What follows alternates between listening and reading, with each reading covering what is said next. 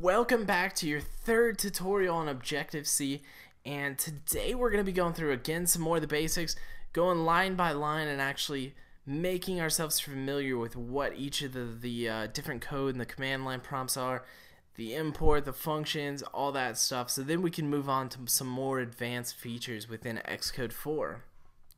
So in the last tutorial we did kind of a little bit of a tour so if you haven't been there go back take a look at it you'll see how we got to this point and then we also ran the command line prompt. So down here you can see the hello world, which is the NS log that we had prompted on earlier appeared. So now what we're going to do is run line by line down the code here and kind of explain what each part is. And that'll help you kind of grasp where we're going with this. Anyways, very top, let's start off on the very top up there, the green text which kind of goes through created by, copyrights, all rights reserved, all that stuff. It's green because it's it's a comment. And we know it's a comment because of the double forward slashes, the two forward slashes there. Um, which basically means it's not going to interfere with any of the programming. So any of the stuff that you write within the commented section is not going to actually be taken into account for the programming if that makes sense. So we could actually write in here anything we want and it's not going to affect the program's behavior. Um, just a little bit of side note because I like to go on those bunny trails. If you were to use a forward slash with an asterisk, this is called block commenting.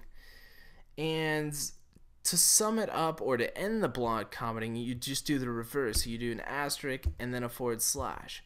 So then anything we write within this block is commented out. So that's just another way that you can add comments in a larger area per se. Um, so that's enough for that bunny trail. Anyways, let's move on to the next line. If you got any questions, feel free to comment. We'll hopefully help you out there. The next line is a statement, and the statement is an import statement of the foundation slash foundation.h which basically this part right here, the foundation slash foundation.h, is a header framework, which if you can imagine there was a let's just say there was a bunch of code at the top here. And we didn't want to write it every time. We just wanted to input like let's say foundation slash foundation x h and that took care of it. We didn't have to write a million lines before we got down to our main function here. But we just want to put this in there and say, hey, you fill in the rest with the thousand lines that we don't want to write every time. So if you can imagine like a new program has to have certain lines up at the top um, and we didn't want to write those exact same lines every time we wanted to write a command line or, or uh, an application. This is a simple way to import those into our application every time and we don't have to write those. So it gets rid of kind of the monotonous things that uh, people have to write every time. Now, just to reference, this foundation.h can be found over in the frameworks, framework, foundation.frameworks, headers, and as you can see, the very top one is the foundation.h, which goes through and it imports a ton of different things out there. And uh, we'll go into that a later date, but just want to give you a reference of where that's found. So go back to the main.m, the next part here is an integer main, which is a, the main function of our command here, our app here, followed by some arguments, which we'll get into a later date, that are associated with the main function. So keep in mind that. Um, we have an integer because down here we have a return 0, which again we'll get into a little bit later but basically if it returns zero we know that the application we know that it went through the program went through good and we don't have to worry about it from there on. So there's our main function and then the next line is going to be an ns auto release pool. And the ns auto release pool is a memory management in the framework for xcode and so basically the program's saying, hey, I need some memory because I'm going to do this with the program.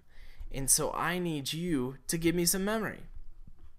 And so in this case, we have the NS auto release pool allocated to our program to automatically give us memory when we need it. And so then followed by that, again you can see some green text with our double forward slashes or forward slashes and that is going to be again a comment line. We could delete this out, we could write more things beyond it and uh, move on from there. So old news right there. The next thing, the NS log, this is going to be similar to like a print function in the programming sing language. So NSLog is basically a display function call so you can see what you're doing. So in this case, as we ran the application, the NSLog displayed hello world. And so that's what we're going to do at the, the end of this tutorial just to prove a concept. But uh, let's wrap up and finish out the last lines here. Pool drain, this is going to be associated to our pool up here. And the pool drain is basically saying, okay, I don't need any more of this memory that we've reserved, that we've allocated for our function calls. So I'm going to give it back to you. I'm going to give the I'm going to give the memory back to the, the computer or the device. And so that is what uh, that is associated with. We kind of already went over the return zero, but the return zero again is going to be associated with our main function up at the top. And again, if it returns anything other than zero, we know we have an error or a problem within the program. So hopefully that wasn't too fast. I mean, again, some of the basics we're going to get into some of the more in-depth. What do these arguments mean up here? What is the integer, you know, in, integer of the main function, etc. But uh, again, for a later date. So last, what I want you to do today, I went out. I was looking for some squirrels and uh, you know didn't see any. We were out in this field, just just walking around looking for some squirrels. Not gonna say that I was hunting for them, but just looking because I know there's some people that disagree with that. I, am totally cool with that. But uh, what we're just gonna do is we're gonna write something else in this NS log. You know, uh, so we're just gonna write squirrels. Can't spell today. Squirrels don't like me go ahead and modify that in your NS log. And all I want you guys to do is run the command line prompt. So click again the run on the top left or command R. And as you can see, our program succeeded. We've got our timestamp, the name of the program here, and instead of hello world, we now have squirrels don't like me. I don't know what it is.